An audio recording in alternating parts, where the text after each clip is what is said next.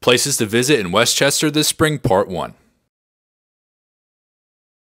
Clay Art Center was founded in 1957 by artists Katherine Choy and Henry Okamoto. They offer studio space, residencies, and exhibitions for working and emerging artists. There are currently two exhibitions on display Lighting the Way and Renee Murray's Reflections.